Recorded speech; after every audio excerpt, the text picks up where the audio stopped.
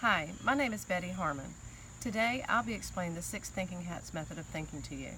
This is a concept that is taught in Nursing 320, which is the Introduction to Nursing Leadership and taught at the University of Mount Olive. This is an assignment for my Master of Science in Nursing degree at the University of Mount Olive. My objectives for this presentation are to explain the six thinking hats and its relationship to parallel thinking, to enable the audience to identify the six thinking hats and their roles, and to use the six thinking hats method in an everyday example. The six thinking hats method of thinking was invented by Dr. Edward de Bono in the early 1980s. It's a method of thinking that incorporates parallel thinking, which is a way of thinking that allows everyone involved to offer their input and to contribute even if they don't agree with what's being discussed. This method of thinking follows the framework of Rand J. Spiro's cognitive flexibility theory.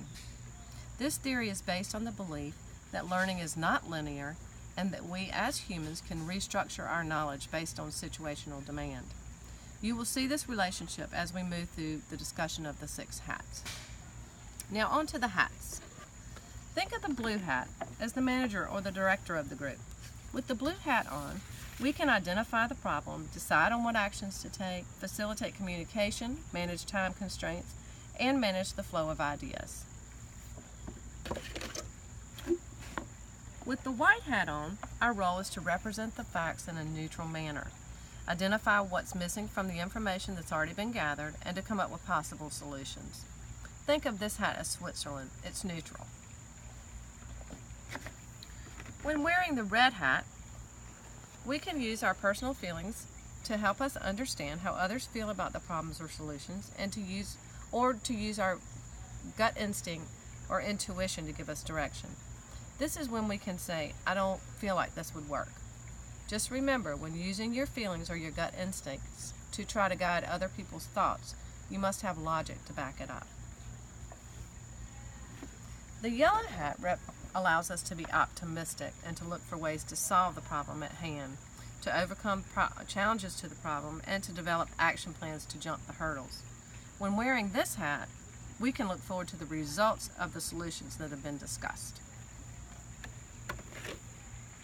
Think of the black hat as the logical one in the bunch. With the black hat on, we'll point out the weaknesses of the ideas and solutions that have been presented, reveal the flaws in the path to the goals, and identify the lack of resources that we need to get to our goal.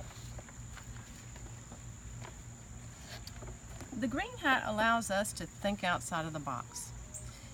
It also allows us to develop creative alternatives and find new ways to do things. With the green hat on, we can avoid the we always do it this way attitude. We can also use this hat to, to overcome the weaknesses that were identified by the black hat. After all the hats have had their say, the blue hat comes back out. The blue hat is the manager, and at this point, it is the duty of the blue hat to summarize the findings and ensure agreement from the group. Now, let's work through a solution. Let's work through a problem using the six thinking hats method as a solution.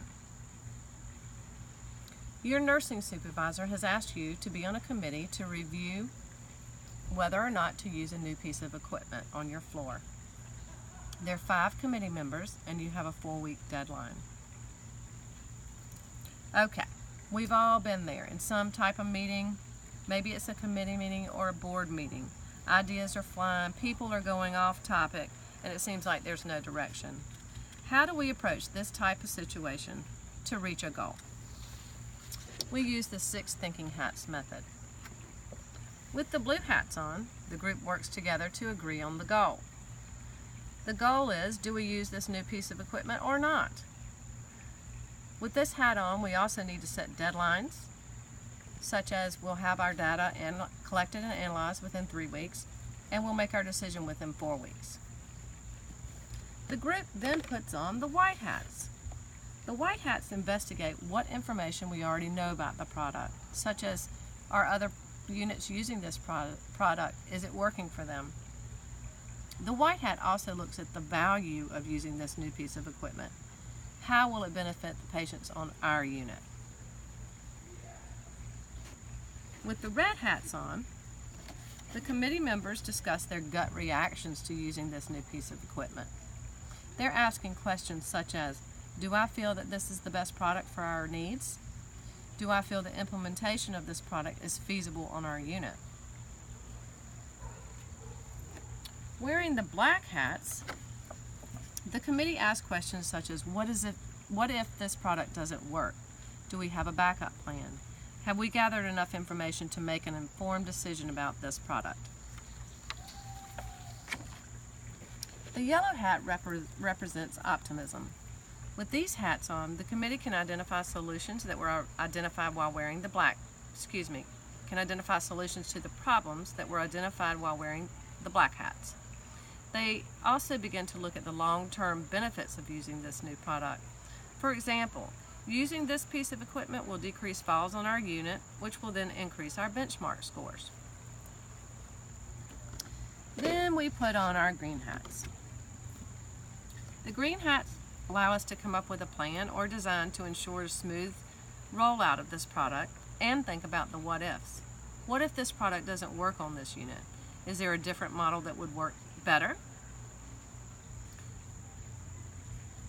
Decreasing falls and increasing our benchmark scores is our goal, so let's think of an alternative plan to meet that goal.